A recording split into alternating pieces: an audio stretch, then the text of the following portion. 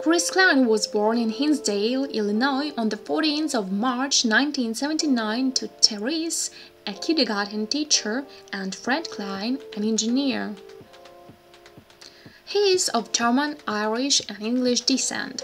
After spending the first 13 years of his life there, he moved with his family to Nebraska.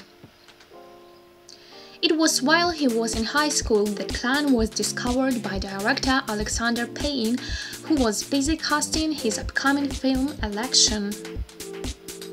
Klein won the role of Paul Metzler in Payne's film, which opened to enthusiastic reviews. Soon after, Klein found a steady amount of work in the film industry while briefly attending TCU, where he studied theater and was a member of the Lambda Chi Alpha fraternity.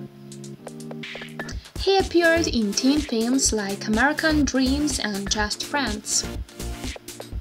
Chris Klein became well known for playing Oz in the hit film American Pie. He played Stevie in The Six Wives of Henry LeFay and Jonathan Cross in the 2002 remake of Rollerball.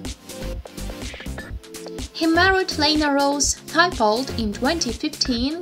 They have a son named Frederick Easton. In January 2018, they announced they were expecting their second child together.